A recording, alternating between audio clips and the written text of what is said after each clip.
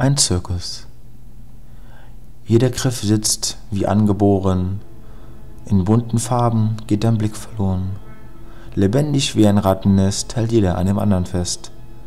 Eine Gruppe Künstler, jeder ein Meister seines Werks. Unter Tüll und Schminke pocht ein freies Herz. Kinderaugen funkeln, mancher Greis fühlt sich wieder jung. Sie leben, um zu unterhalten, ihr Lohn ist die Begeisterung. Ohne Netz, dafür mit Boden, auf einem Seil kaum daumendick. Schaut nur dort oben, wandelt federgleich die schöne Dominique. In ihren Händen ein Stab dient der Balance, das andere Ende des Seils ihre einzige Chance.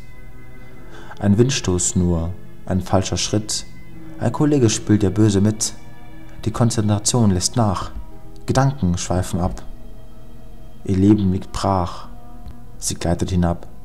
Ihre Lieder schließen sich, sie spürt den Wind, ihre Kerze erlischt. Sie war doch noch ein Kind. Adrenalin durchflutet ihr Herz, ihre Augen springen auf. Sie durchzuckt ein kalter Schmerz, ihr Gleichgewicht setzt ein im letzten Moment. Ein Raunen ging durch das Publikum, durch Clown, Kollegen, Scharlatane. Dominique streitet stumm allein in ihre Karawane. Ein einsamer Künstler, Meister ihres Werks.